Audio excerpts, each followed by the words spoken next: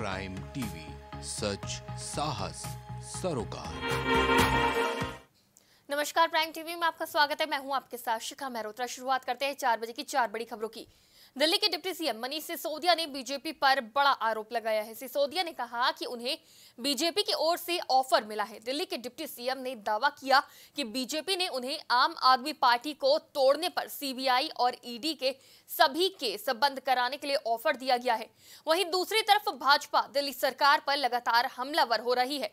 इसी कड़ी में भाजपा के राष्ट्रीय प्रवक्ता गौरव भाटिया ने प्रेस वार्ता कर मुख्यमंत्री अरविंद केजरीवाल पर जमकर निशाना साधा। उन्होंने कहा, आम आदमी पार्टी का भ्रष्टाचार और कट्टर बेईमानी बीजेपी उजागर हो रही है और ये स्पष्ट हो गया है कि मनीष सिसोदिया और आम आदमी पार्टी के पास जवाब नहीं है। इस प्रेस कॉन्फ्रेंस में हम बहुत बड़ा खुलासा करेंगे।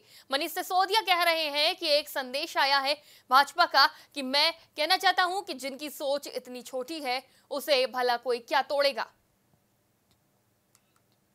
इस खबर पे हमारे साथ ज़्यादा बातचीत के लिए संवाददाता तो गौरव जुड़ चुके हैं। गौरव लगातार गड़बड़ियों को देखते हुए जाँच बैठाई गई है ईडी और सीबीआई की जाँच जहाँ एक तरफ़ चल रही है तो मनीष सिसोदिया का ये बयान काफ़ी हंगामा मचा रहा है। क्या कहेंगे इस पर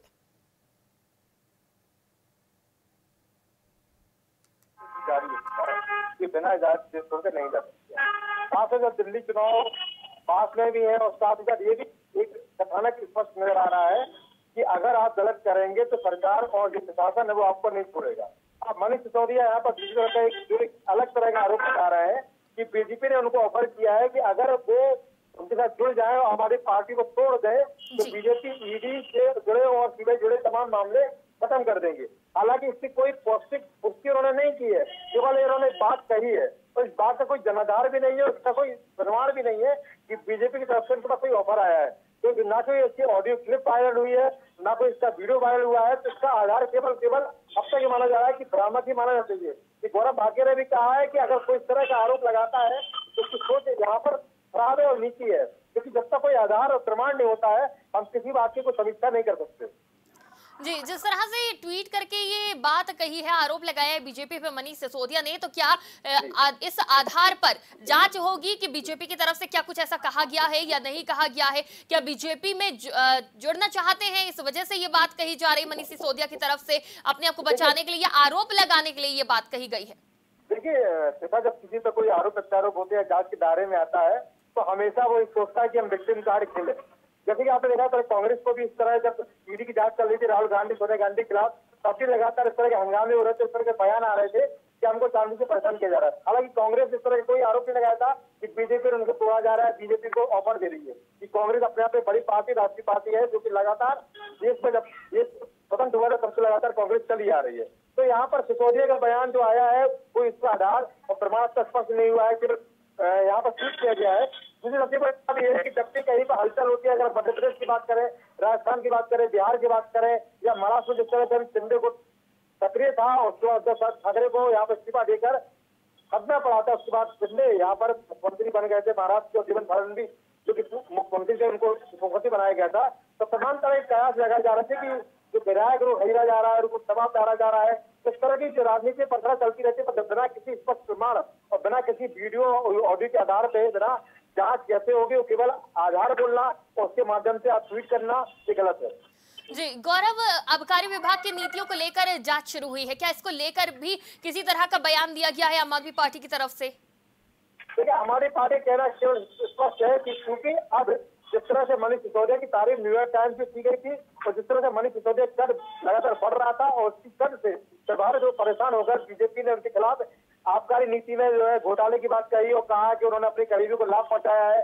बिना किसी प्रक्रिया के उन्होंने टेंडर आवंटित कर दी है और घोटाले का आरोप लगाया है, जिसके तहत लगातार ईडी उनकी जाँच की चल रही है और सभी उनको लोकल नोटिस भी जारी किया गया है। तो आम आदमी का कहना है कि अरविंद केजरीवाल और मनीष सिसोदिया की जो व्यापक लोकप्रियता है, उसके प्रभाव बीजेपी के खिलाफ एक अभियान चला दिया है, ईडी का सीबीआई का। जी, गौरव, जिस तरह से अनुराग ठाकुर ने भी इस मुद्दे को लेकर बात कही थी और कहा था कि इसमें केजरीवाल का भी हाथ है। केजरीवाल आए, प्रेस वार्ता करे, स्पष्टीकरण दे। तो इस मामले पे क्या कहेंगे? जिस तरह से आरोप लगाए जा रहे हैं और प्रेस ब्रीफिंग करने की बात कही थी अनुराग ठाकुर ने, उसको लेकर क्या रुख कर रही है आम आदमी पार्टी?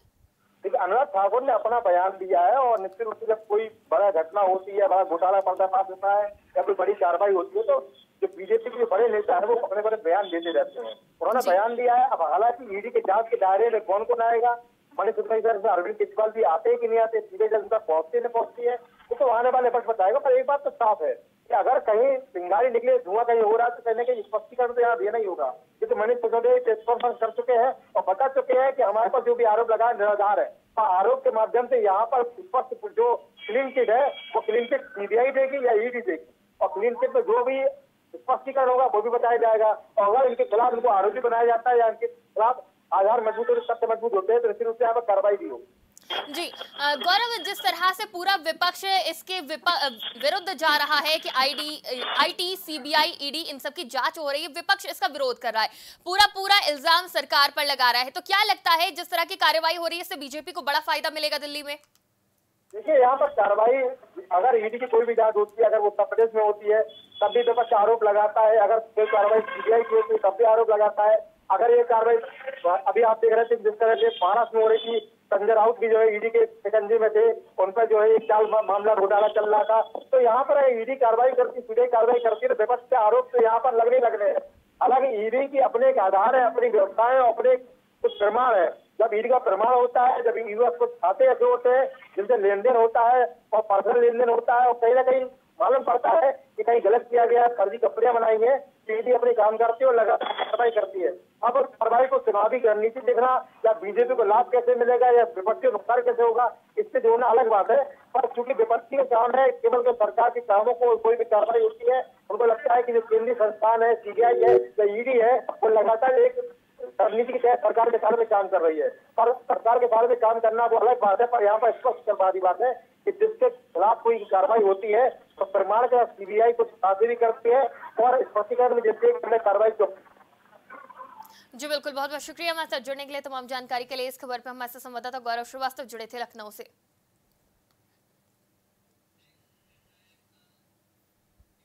दिल्ली के जंतर मंतर पर संयुक्त किसान मोर्चा ने महापंचायत का ऐलान किया है। इससे 60 से अधिक संगठनों को बुलाया गया है।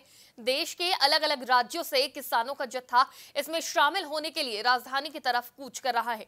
वहीं कुछ किसानों का शनिवार से ही दिल्ली पहुँचने का सिलसिला शुरू हो गया है। दिल्ली पुलिस ने इस प्रदर्शन की इजाज़त नहीं दी है। ऐसे में महापंचायत के मद्देनजर पुलिस ने बॉर्डर पर सुरक्षा बढ़ा दी है। बिना जाँच किसी वाहन को राजधानी में प्रवेश करने नहीं दिया जा रहा है।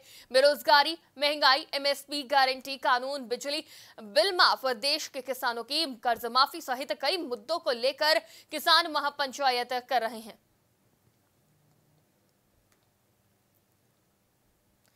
तो दिल्ली के जंतर मंतर पर महापंचायत का ऐलान किया गया है और अब सिंघू और गाजीपुर बॉर्डर पर सुरक्षा बढ़ा दी गई है क्योंकि जैसे तीन नए कृषि कानून के विरोध में दिल्ली के बॉर्डरों को किसानों ने घेर लिया था, लंबा प्रदर्शन चला, उसको देखते हुए अब एक्टिव नज़र आ रही है सरकार और प्रशासन।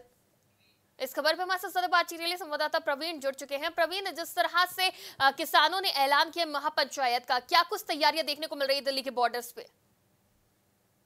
जी शिखा देखिए, आपको बता दूँ, इस समय हम उसी बॉर्डर पे मौजूद है, जहाँ पर सुबह से ही जाम की स्थिति बनी हुई थी। तो कहीं ना कहीं जिस तरह से राकेश टिकट ने महापंचायत का आयोजन किया, उसके बाद लगातार जिस तरह से कल उनकी गिरफ्तारी हुई नोएडा बॉर्डर से वो निकले थे, चिल्ला बॉर्डर चिल्ला में ही उनकी गिरफ्तारी कर ली गई दिल्ली पुलिस द्वारा। तो कहीं ना कहीं ये किसान नेता अपना एक महापंचायत के बाद एक रणनीति तैयार कर रहे थे, काफ़ी बड़ी रणनीति होने वाली थी इनकी। कहीं ना कहीं एक आंदोलन करने वाले थे जंतर मंतर दिल्ली पे। तो कहीं ना कहीं आज जो पुलिस ने बैरिकेटिंग करके उनको यहाँ पर चेकिंग अभियान शुरू किया गया, जिससे काफ़ी भारी मात्रा में जाम की स्थिति यहाँ पैदा हो गई।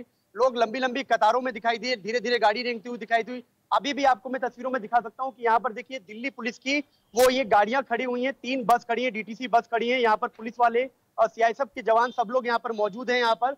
बहरहाल ये वही जगह है जहाँ पर इस समय मैं खड़ा हूँ। यहीं पर ही एक समय पर धरना हुआ था यही प्रदर्शन हुआ था। सभी किसान संयुक्त मोर्चा के लोग यहीं पर मौजूद थे। यही वो जगह थी जहाँ पर पूरी तरीके से उसको बैरिकेड कर दिया गया था। तस्वीरें आप देख सकते हैं कि ये वो गाजीपुर का बॉर्डर है जहाँ पर इस जगह लगा हुआ करता था, जहाँ से आज गाड़ियाँ निकल रही हैं। लेकिन वही स्थिति यहाँ पैदा ना होने पाए, उसको लेकर खासतौर पर दिल्ली पुलिस ने बैरिकेटिंग कर दी थी। बैरिकेटिंग आप देख सकते हैं वो तस्वीरों में वो बैरिकेटिंग अब हटा दी गई है। लगातार यहाँ पर सभी व्यवस्थाएँ पूरी कर ली गई है कि कहीं ना कहीं कोई जो भी किसान आंदोलन जिस तरह से करने की रणनीति बना रहे हैं, राकेश टिकैत तो कहीं ना कहीं वो दोबारा से ना स्थिति हो पाए उत्पन्न ना हो पाए वो स्थिति तो उसके लिए काफ़ी भारी संख्या में यहाँ पर पुलिस बल तैनात है। जी शिखा जी हर गाड़ियों को चेक भी किया जा रहा है प्रवीण तो इसको लेके क्या कुछ दिशा निर्देश दिए गए हैं प्रशासन की तरफ़ से? देखिए शिखा मेरे को बता दूँ कि धारा 144 दिल्ली के अंदर में लागू हो चुकी है क्योंकि सुबह से ही जिस तरह से इनपुट मिला था दिल्ली पुलिस को कि यहाँ पर किसान नेता राकेश टिकैत उनके साथ में और भी लोग यहाँ पर जुड़कर दिल्ली की तरफ़ कूच करने वाले हैं। तो दिल्ली जंतर मंतर जैसे ही पहुँचने वाले थे तो उससे पहले ही यहाँ पर चेकिंग व्यवस्था कर दी गई। बैरिकेटिंग कर दी गई। हालाँकि दिल्ली पुलिस ने एक एडवाइजरी जारी की थी जिसमें खासतौर पे जंतर मंतर के दायरे में जितने भी रूट थे वहाँ पर एडवाइजरी जारी की थी कि आप लोग अगर सुबह से निकलते हैं अपने ड्यूटी के लिए कहीं ना कहीं तो उस क्षेत्र से होते हुए थोड़ा पहले निकले जिससे कि वहाँ जाम की स्थिति ना बन पाए। लेकिन ये दिल्ली पुलिस ने ये एडवाइजरी जारी नहीं की थी कि वहाँ पर बॉर्डर भी सील किए जाएँगे बॉर्डर यहाँ पर बैरिकेड किए जाएँगे। लेकिन जब ये खबर सामने निकल कर आती है मीडिया को पता चलती है तो मीडिया तत्काल यहाँ पहुँचते हैं। लेकिन जिस समय हम सुबह यहाँ पहुँचे थे तो भारी संख्या में यहाँ पर गाड़ियों का जमावड़ा था क्योंकि बैरिकेटिंग सभी जगह पर जितने भी बॉर्डर्स थे वहाँ पर बैरिकेटिंग लगा दी गई दिल्ली पुलिस द्वारा। सभी एक एक गाड़ियों को चेक किया जा रहा था कि कोई ऐसा आदमी ना हो जो वहाँ पर प्रवेश कर पाए जो किसान नेता या किसान संगठन से जुड़ा हो। और खासतौर पे एक बात और बता दूँ जो गाड़ियों में स्टिकर लगे हुए थे बीक्यू के जो किसान आंदोलन के समय पर जो एक लेटर स्टिकर अलाउड किए गए थे तो उन स्टिकरों को भी छुड़ाया गया था और उन गाड़ियों को वापस के लिए दिल्ली से यूपी के लिए रवाना किया गया। खासतौर पर स्थिति काबू में पा ली गई। दोनों तरफ़ की पुलिस यहाँ जुटी हुई थी मौके पर बॉर्डर पर। यूपी पुलिस भी थी, उधर दिल्ली पुलिस भी थी। दोनों की तरह, दोनों की तरफ़ से सरदर्दी का माहौल ना पैदा हो जाए, इसको लेकर पुलिस काफ़ी अलर्ट दिखाई दी। जी। जी, प्रवीण, अगर बात करें किसानों की तो किसानों की तरफ़ से क्या कुछ बयान सामने आया है? क्योंकि जिस तरह की स्थिति है, उनके एंट्री पर रोक लगाई जा रही है तो क्या किसान अभी भी एंट्री करेंगे, महापंचायत करेंगे निर्धारित स्थान पे, निर्धारित समय पे? जी बिल्कुल। देखिए सूत्रों के हवाले से खबर ज़रूर निकल के आई थी कि राकेश टिकैत दिल्ली तो जाएँगे ही। उनका एक जाने का दौर जो था वो तय था। कहीं ना कहीं एक उनको पुस्तक कला में जाना था जहाँ पर उनको आ, मीटिंग करनी थी वहाँ बैठना था कुछ किसी चीज़ का शिलान्यास था या उद्घाटन था ऐसी खबर सामने निकल कर आई थी। लेकिन हालाँकि राकेश टिकैत को जाने के लिए अनुमति मना नहीं किया है।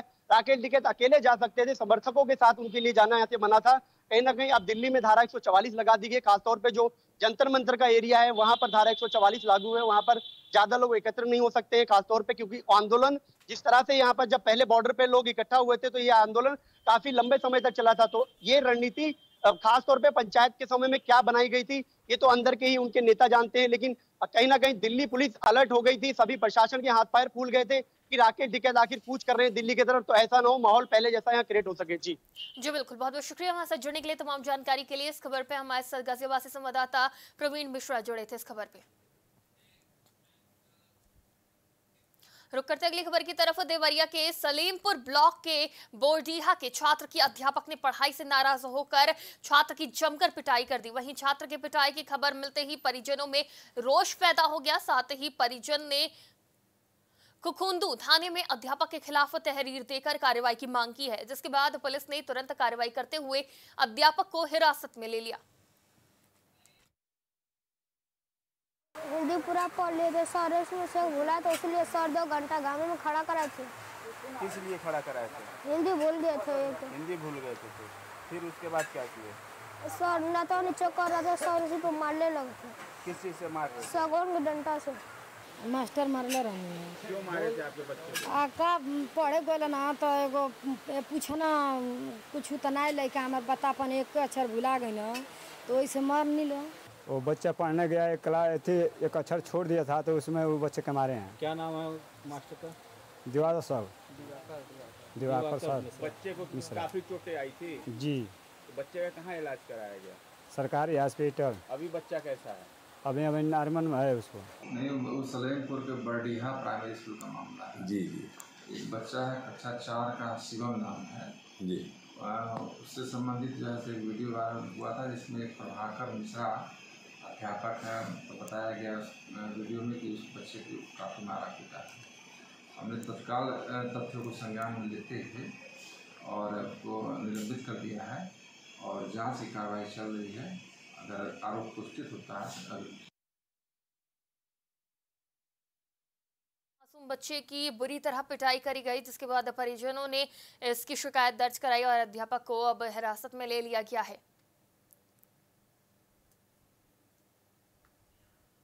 और इस खबर पे हमारे साथ ज़्यादा बातचीत के लिए संवाददाता रवि रावत जुड़ चुके हैं फ़ोन लाइन पे रवि, जिस तरह से अध्यापक ने बच्चे की पिटाई करी थी, उसके बाद शिकायत करने के बाद एक्शन लिया गया है पुलिस की तरफ़ से, हिरासत में ले लिया गया अध्यापक। पूरी जानकारी चाहेंगे।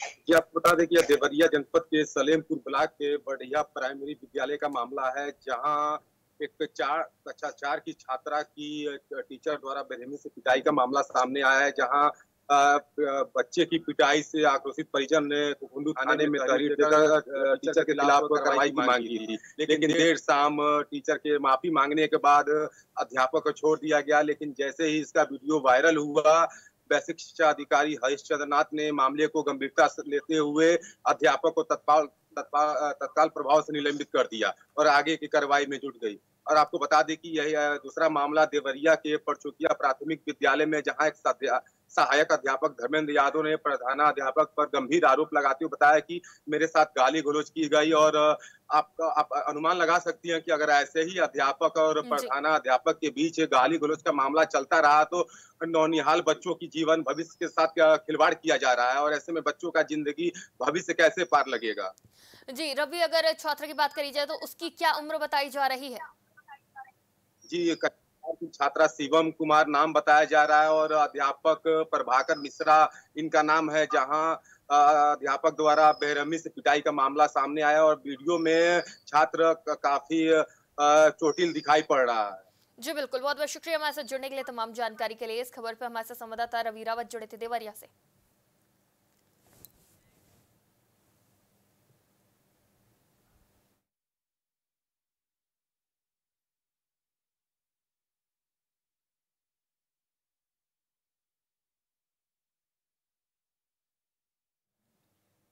बुलंदशहर में खुर्जा नगर कोतवाली क्षेत्र के हनुमान टीला के पास कलयुगी बेटे ने संपत्ति के लिए माँ की निर्मम हत्या कर दी। जानकारी के मुताबिक हत्यारे बेटे ने माँ पर धारदार हथियार से वार करते हुए चेहरा भी कुचल दिया था।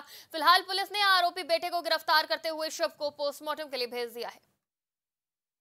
रात लगभग डेढ़ बजे सूचना मिली कि जो बड़ी होली चौक के पास गली में एक महिला का शव लिपटा हुआ रस्सी से बांधा हुआ, वहाँ मिला हुआ जिस पे पुलिस ने मौके पे पहुँच करके शव को कब्जे में लिया और पंचायतनामा हेतु पोस्टमार्टम के लिए शव को भेज दिया। इसमें कुछ लोगों को हिरासत में लेके पूछताछ की जा रही है और पूछताछ के बाद जो भी इसमें दोषी होगा, उनके विरुद्ध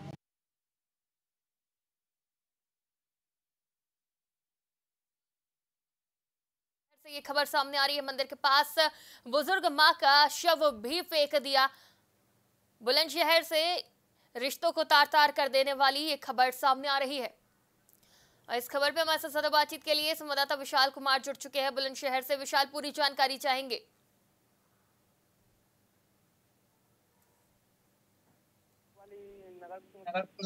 हनुमान जी का के पास की घटना है जहाँ जो है एक कलयुग ने अपनी संपत्ति को लेकर माँ की हत्या कर दी गई? जी विशाल क्या आरोपी को पुलिस ने हिरासत में ले लिया है? शिखा जी मैं आपको बता दूँ कि दोनों दोनों आरोपियों को गिरफ़्तार कर लिया गया है और पुलिस उसमें पूछताछ की जा रही जी बिल्कुल बहुत बहुत शुक्रिया हमारे साथ जुड़ने के लिए तमाम जानकारी के लिए। इस खबर पर हमारे साथ संवाददाता विशाल कुमार जुड़े थे बुलंदशहर से।